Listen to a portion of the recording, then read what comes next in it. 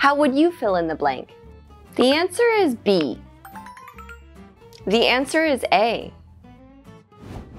Did you say, you're wrong? You're wrong is something you can say when someone gives the wrong answer or information or when you disagree with their opinion. However, it's very direct and strong. That means in certain situations, it might be a little aggressive and rude. There are other ways to say that someone answered incorrectly or that you have a different opinion. Today, you'll learn six other ways you can say you're wrong. I'll introduce them in order from casual to formal. You've got it wrong. Use this when someone has misunderstood something in a casual situation. You can add all to emphasize that they have completely misunderstood. You've got it all wrong. It seems like you don't want to talk anymore, so I'm going to go home. You've got it wrong. I'm just a little tired. I still want to talk.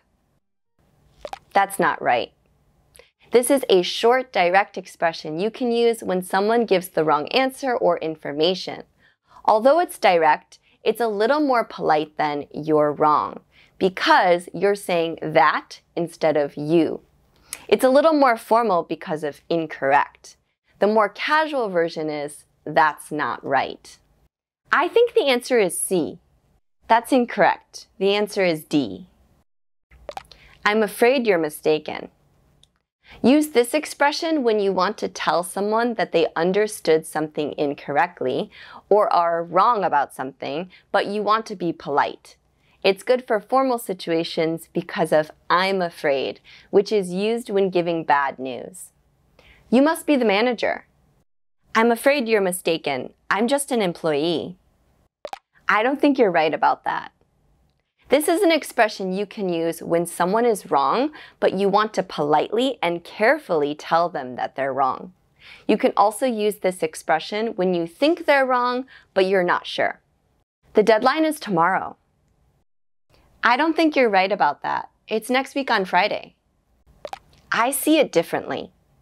Try using this expression when someone has a different opinion from you. This means it's an issue that might not have a clear right answer. Although you think they're wrong because their opinion is different from yours, you can be polite about it when you use this expression. I think a four-day work week is impossible. I see it differently. I have to disagree with you on that. This is another good expression when you want to say that your opinion is different politely. It's good for formal situations.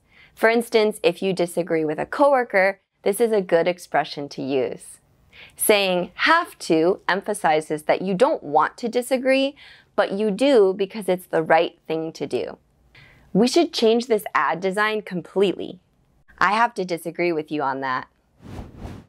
Now that you know other ways you can say you're wrong, what would you put in this blank? The answer is B. The answer is A. Let me know in the comments down below. Did you enjoy today's lecture? Wait, don't just leave yet. If you go to the Cake app, below the video you'll see our A-Level Speaking Challenge feature. It'll help you practice speaking key sentences from the lecture, and you can also get your pronunciation checked. So check it out and try until you get an A to improve your speaking skills. So download Cake today, and I'll see you in the next class. Bye!